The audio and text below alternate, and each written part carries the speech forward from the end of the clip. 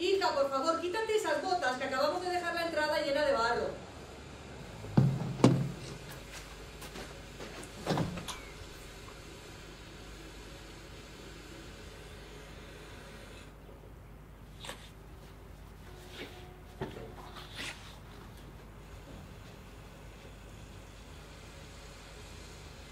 Ustedes de esto no digan nada.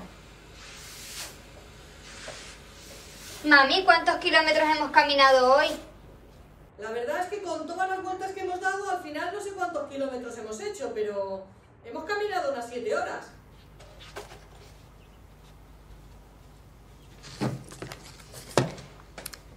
Ay, chicos, que casi nos perdemos. Estuvimos como dos horas perdidas por el bosque. Y miren, es que era todo igual.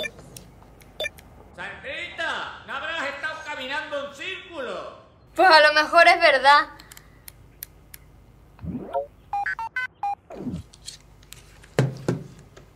¿Qué tal la excursión? Toda una aventura. ¿Eh? ¿Te puedes creer que nos perdimos? ¿En el bosque? Sí, el GPS del móvil no funcionó porque no había cobertura. ¿Y cómo salieron de allí? Pues como no teníamos ni idea de cómo orientarnos, acabamos afinando el oído hasta que nos guiamos por el ruido de unos coches y llegamos a la carretera. Creo que vais a tener que hacer más estudio de campo antes de salir. Mami, ven a ver esta foto. Si es que hasta bien señales indicando el camino, no sé cómo pudimos despistarnos tanto.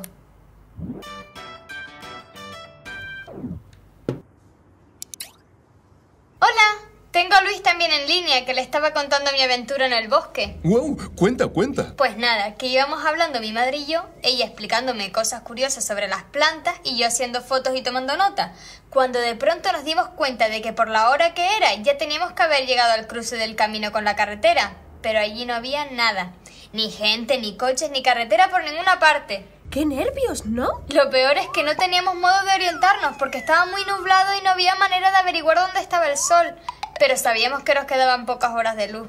¿Y no llevaban comida? Ay, Archie, pues sí, llevábamos una pella de gofio con queso, nueces, miel y pasas, y algo de fruta. Pero no nos quedaba agua, ni teníamos nada para acampar. Definitivamente tienen que prepararse un poquito más antes de salir de excursión. Tampoco llevan linterna, ni mapa, ni brújula.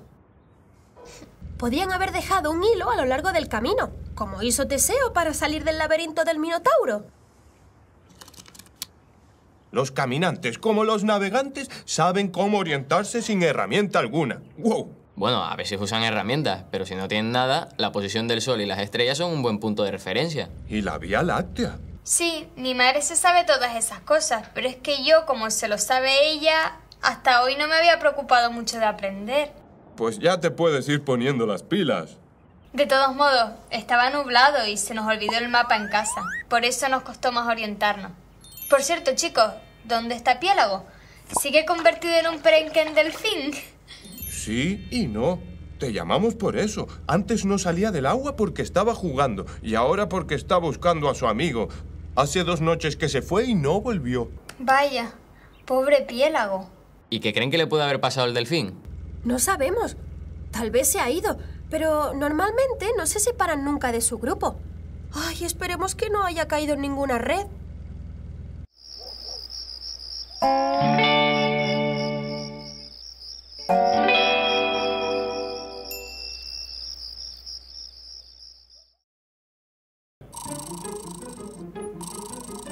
Tengo tarea para rato. Miren, ya he marcado los puntos cardinales en el mapa de Europa. Al norte están Noruega, Suecia, Finlandia y Rusia. Al este, Rusia. Qué grande es Rusia. Al sur, España, Italia y Grecia. Y al oeste, España, Portugal, Islandia e Irlanda.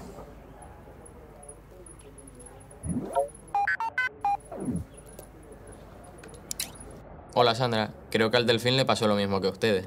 ¿Qué a quién? A ti y a tu madre, que se desorientaron y se perdieron. ¿Y cómo se puede perder un delfín? Dicen que los delfines y las ballenas se desorientan por la potencia del sonar de los grandes buques. ¿Cómo puede desorientarse un delfín? Aseguran que los sonidos que utilizan estos mamíferos para comunicarse son opacados por el ruido que provocan los barcos, los sistemas militares del sonar y el cambio climático. O sea, que no se oyen los unos a los otros y se pierden. Pobres delfines. Voy a hacer la tarea. Chao. Ay, chicos, con lo grande que es el mundo, y me piden que elija solo cuatro sitios donde viajar. Vamos a hacerlo más divertido. Que cada uno elija un país, yo lo busco y así no tengo que tomar tantas decisiones. Vamos, Felipe. Ya, te entiendo. Te pasa como a mí. Hay tantos sitios donde ir a probar que eso es bueno. El Hierro, Fuerteventura, Suiza, Francia, Inglaterra. Pero dime uno al azar. Suiza. Suiza. Sí, en Suiza hay además un montón de bosques que recorrer y chocolate para comer después de la caminata. A ver, al norte Alemania, al este Austria, al sur Italia y al oeste Francia. ¿Y a ti, Karpov, dónde te gustaría ir? ¿A China? No sabía que China era tu país de origen. Ah, que no es el tuyo, sino el de tus antepasados. La de cosas que aprende uno haciendo la tarea en grupo.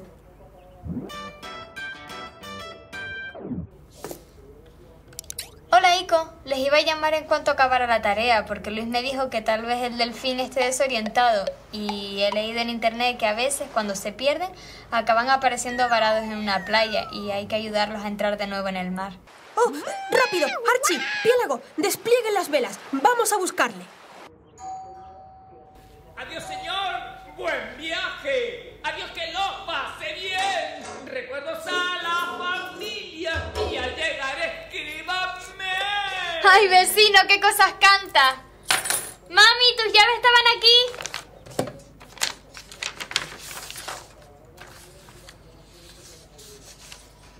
Tienes que ver qué dibujos tan bonitos me han enviado mis amigos.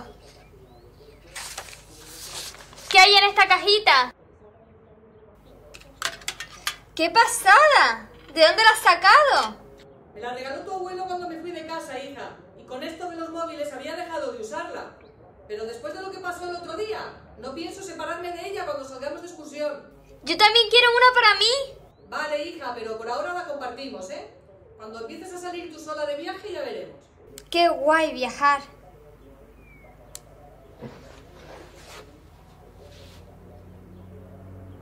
Norte, sur, este y oeste. ¿Por qué no prueban hacerlo desde sus habitaciones?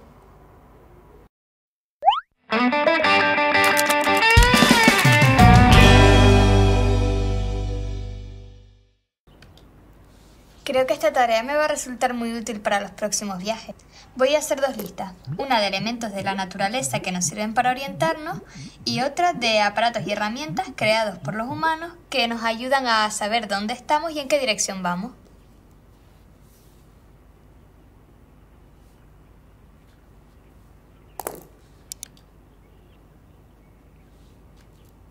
La estrella polar nos marca el norte, la Vía Láctea nos marca el oeste, el sol sale por el este y se pone por el oeste, y además, en invierno, que está más bajo, se desplaza de este a oeste muy cerca del horizonte, y hacia el mediodía marca el sur.